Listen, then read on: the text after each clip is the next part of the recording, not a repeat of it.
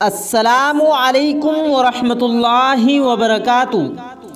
عزیز دوستو، سب سے پہلے میں اپنے تمام دیکھنے والے بھائیوں کو اور دوستوں کو اور اپنی پردہ نشین عزت دار ماں اور بہنوں کو ماہ شعبان کی پندرہویں رات ہے، جسے شب برات کے نام سے بھی جانا جاتا ہے۔ سب سے پہلے میں آپ کو اس کی مبارکباد پیش کرتا ہوں۔ اور اللہ پاک سے دعا کرتا ہوں کہ اللہ پاک اس رات کے صدقے ہم سب کے تمام گناہوں کو معاف فرما کر جو لوگ رزق کی وجہ سے بہت زیادہ پریشان ہیں، اللہ پاک ان سب کی تمام پریشانیوں کو دور فرمائے۔ دوستو، آج میں شب برات کے حوالے سے ایک ایسی تسبیح کا عمل آپ کو بتانے جا رہا ہوں، جس کا ورد کرنے سے اللہ پاک آپ کے رزق میں برکت کر دے گا، آپ کے روزگار کا ذریعہ بنے گا۔ اللہ پاک آپ کو اتنی دولت سے نواز دے گا کہ آپ کے پاس دولت کی کمی نہیں آئے گی، کیونکہ وہ مالک ہے، وہ خالق ہے، وہی سب کو رزق عطا کرتا ہے۔ جسے چاہے دولت دے دے، مالا مال کر دے، اور جس سے چاہے دولت لے لے، وہ سب اسی کے ہی اختیار میں ہے۔ ہم تو صرف بندے ہیں، ہم کچھ کر نہیں سکتے، سوائے دعا کے۔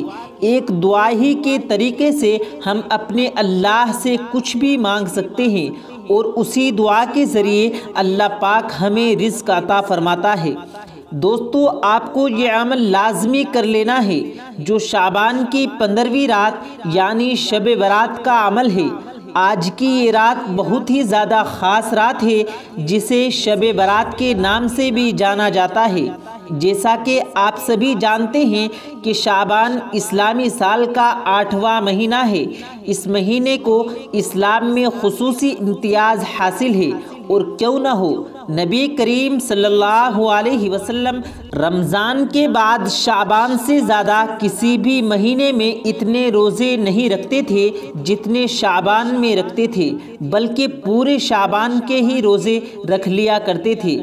ایک موقع پر حضور کریم صلی اللہ علیہ وسلم سے پوچھا گیا، کیا آپ کے نزدیک زیادہ پسندیدہ شعبان کے روزے ہیں؟ تو آپ صلی اللہ علیہ وسلم نے ارشاد فرمایا، اللہ پاک اس سال مرنے والے ہر جان کو لکھ دیتا ہے اور مجھے یہ پسند ہے کہ جب میرا وقت رخصت آئے تو میں روزے کی حالت میں ہوں۔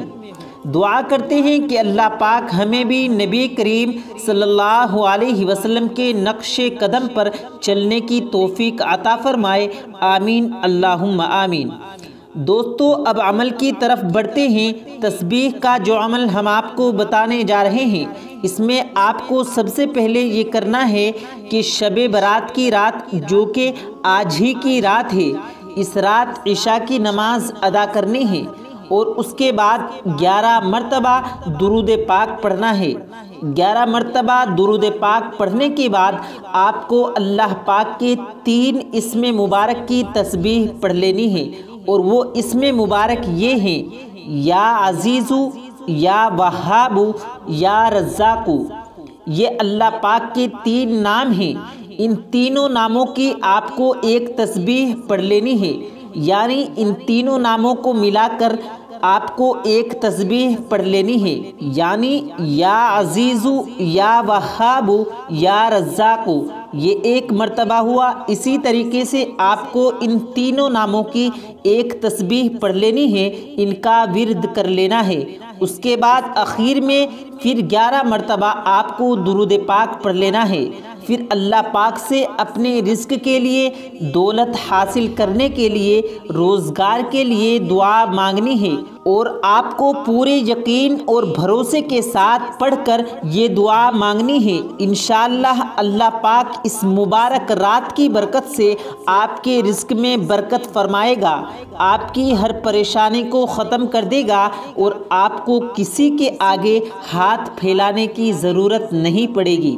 کیونکہ اس خاص رات میں اگلے سال تک کا رزق لکھا جاتا ہے۔